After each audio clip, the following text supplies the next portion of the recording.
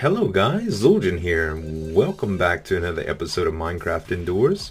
Today I want to show you something much much different than I normally do. I was working with a design for a modern house and I ended up playing around with some colors and textures that I typically don't play around with. So what I want to show you today is a lounge or uh, rather a nightclub that I dubbed Club Hypermine. So I guess I'll show you and you can probably hear the music faintly from here. Let's go and check it out. Oh snap, this looks pretty neat. What's inside? Check that mic, make sure it sound right, boy.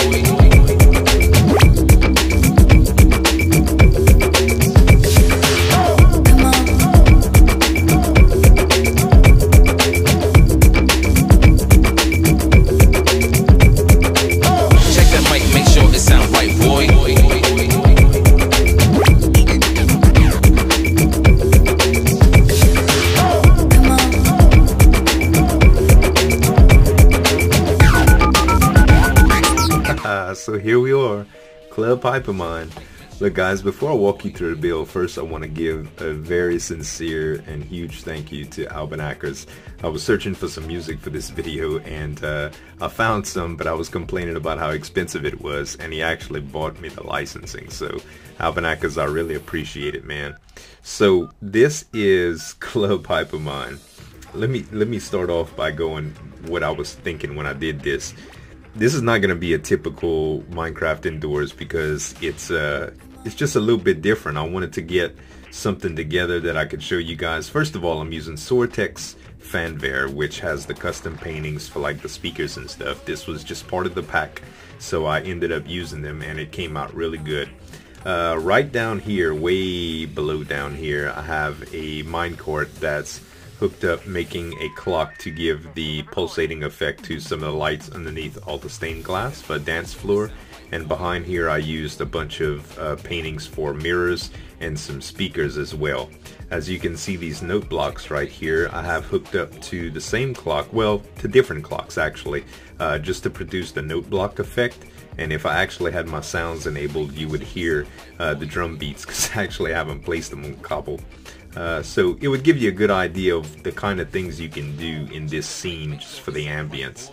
Uh, also, the stained glass panes that I used, the purple color, and it makes a really, really cool looking table stand, like real modern or futuristic table stand for uh, the type of lounge that this is.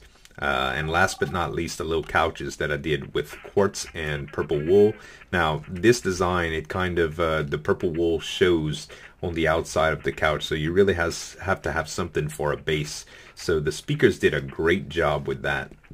Um, and the next is the boar. Now, I wanted to give the boar a cool little look, something that you would step up to in one of these high-profile cities.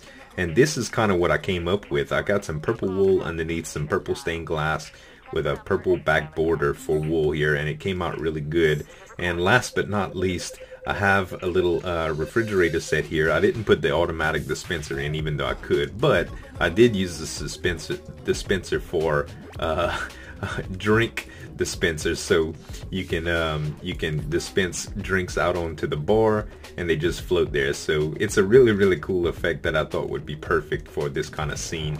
Um, I really like to use something like this in maybe a little machinima. So hopefully that'll come in the future but that's about it for the, the build you guys. I hope y'all enjoyed the little uh, minecraft indoors episode.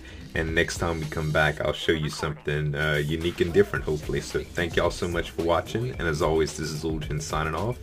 Have a good one